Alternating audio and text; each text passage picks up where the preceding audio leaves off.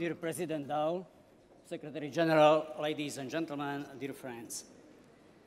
When we watch El Clásico, the match between Real Madrid and Barcelona, not only Spanish people, but the entire football world is thrilled. When Rafael Nadal plays, the entire tennis world applauds.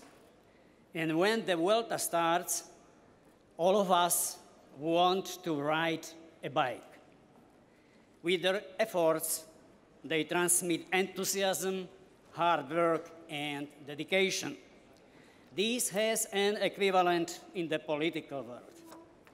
I'm extremely pleased that today we can all applaud the reformist efforts of the Spanish government led by Mariano Rajoy.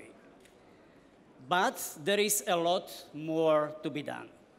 For the good of Spain, for the good of Europe, the Partido Popular needs to win the next general elections. Of course, it is unrealistic to hope we will simply go, go back to business as usual. Business is not as usual. Business has changed after 2008.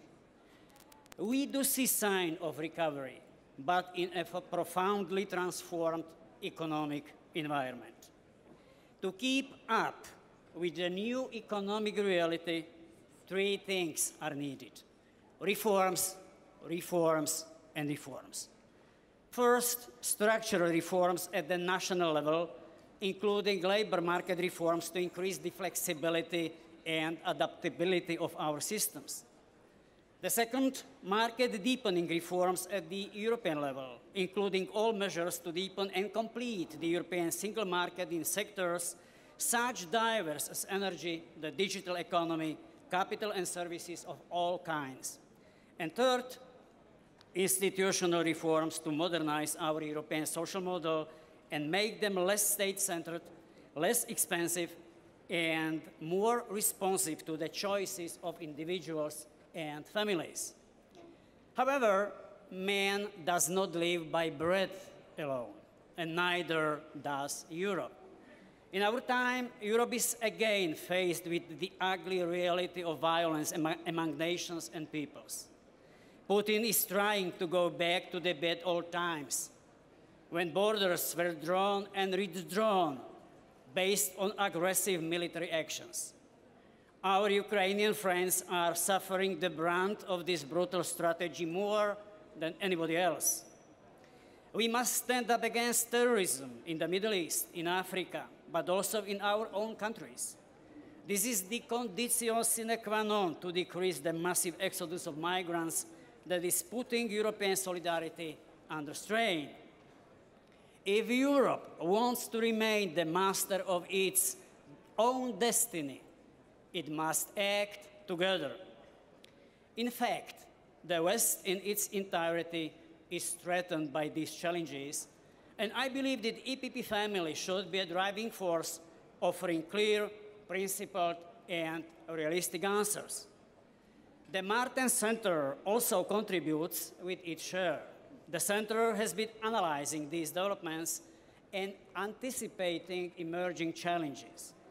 Of particular relevance has been our coverage of the Russian aggression against Ukraine and its implications for the future of EU-Russia relations. In Ukraine, we are also directly engaged on the ground with a project that brings former prime ministers and other successful reformers from Central and Eastern Europe to the country in order to make the case for structural reforms.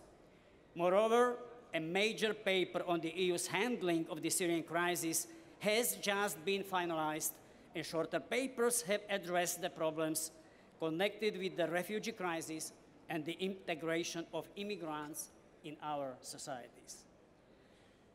Dear friends, we are proud to work shoulder to shoulder with the biggest European political family, and we will continue to work hard in order to ensure that the EPP is always at the cutting edge of economic, political, social, and technological developments. Dear friends, the European challenges are formidable, but so are the efforts of the center-right to tackle them. The European Union is a product of our creativity. We imagine the Europe that we want, and we want the Europe that we imagine. That's why it is a colossal challenge, because it depends exclusively on our will. That's also the beauty of it. The idea of Europe is human creativity at its best. We are proud of being Europeans. Let us revive the pride of the European people in being Europeans. United, we are stronger. Unidos, somos más fuertes.